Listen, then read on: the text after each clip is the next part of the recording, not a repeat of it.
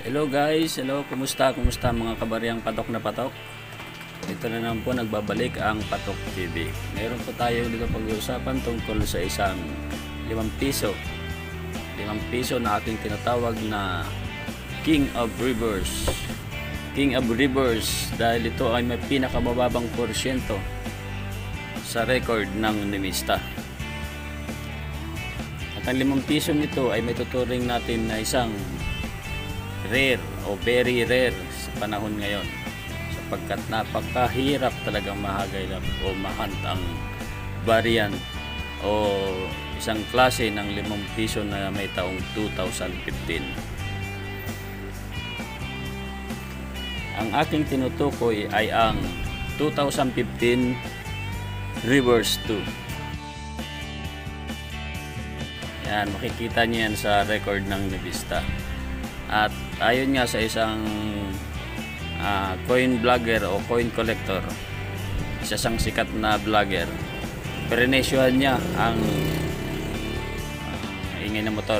Prenesyohan niya ang year 2015 reverse 2 ng halagang 40,000 pesos.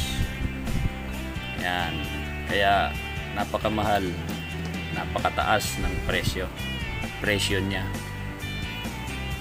yun ay depende pa rin sa kanyang kondisyon. Yan. Dito sa display, dito sa screen ko ay makikita nyo ang ilan sa aking mga example at ipapakita ko rin dito kung alin dito ang sinasabi kong reverse 2 ng 2015. Ah, simulan na natin isa-isa. Una ay itong aking almost uncirculated na may taong 2015 yan. Kintab pa siya kaso reverse din lang siya.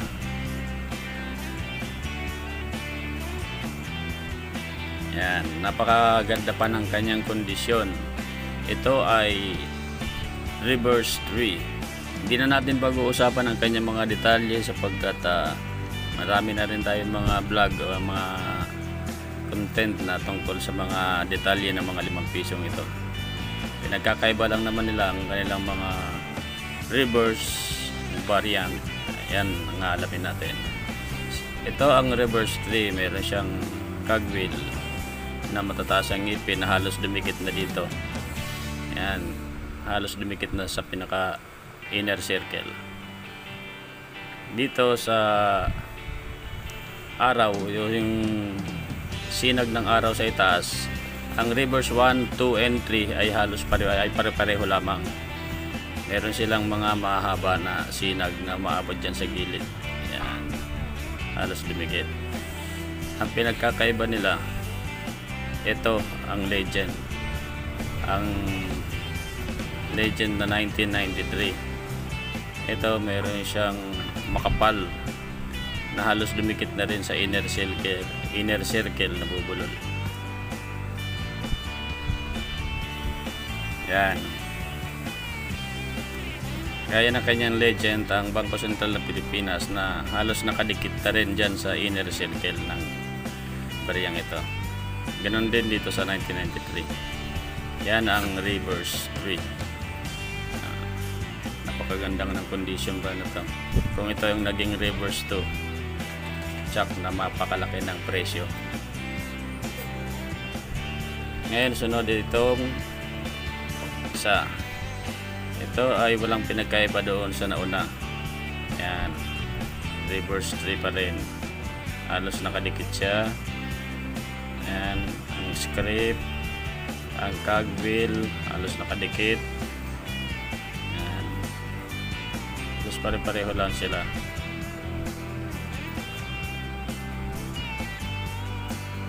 verse yan 2015 ito pa isa. Yan reverse 3 pa rin. Napakarami ng reverse 3 yan ganun pa rin. Nakalos dumikit sa inner circle. Ganun din ang legend na 1993 yan makapal siya at kung papansinin natin zoom natin nga ang kanyang 1993 ng reverse 3 kung papansinin natin ang 1993 niya halos nakadikit at napakaliliit napakaliit na pahaba ang butas dito sa 99 yan. Napakaliit. Yan ang liliit lang ng butas. Oblong siya pero maliit.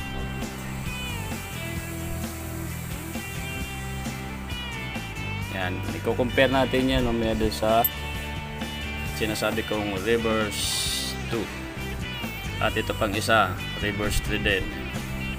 Yan. Halos nakadikit. Ang script Bangko Sentral ng Pilipinas. At ang 1993 makakapal din siya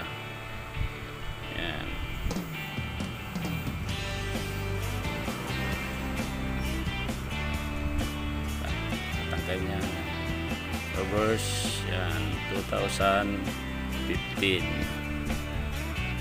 at itong pinaka-last, ito ang reverse 2. Ayan, 2015. 2015. Pansinin nyo kagad. Sa unang tingin pa lang, pansin na talaga. Yan o. Oh. Cogwheel, masyadong maluwag. May, agwat siya. Ang ngipin niya hindi ganun kalalapad yan compare natin dito sa isa. Babaw po ang reverse 2 yan o pansinin nyo yan.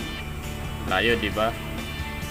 Kagwil niya o nakadikit dito malayo ang agwat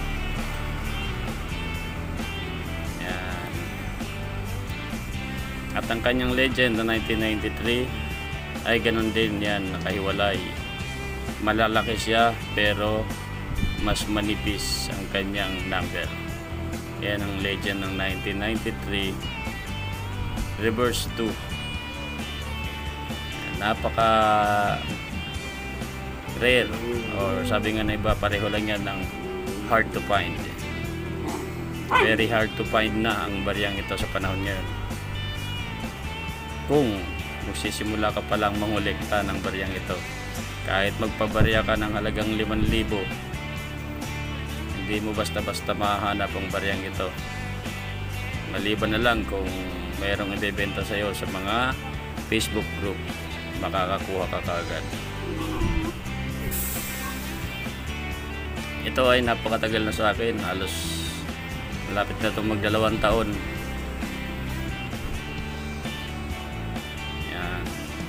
Kaya kung meron kayong makikita mga 2015 na 5 piso, check nyo na kagad ang kanyang uh, reverse.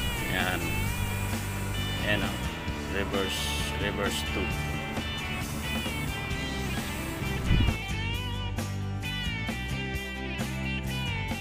Nalagay ko rin dito ang percentage sa record ng Namista at ikumparan lang natin doon sa mga matatagal ng mga hard to find kagaya ng 2006 na matagal ng hard to find at napakamahal ng presyo. Ngunit sa record ng numista ay mas mababa ang porsyento ng bariyang ito na 2015 reverse 2.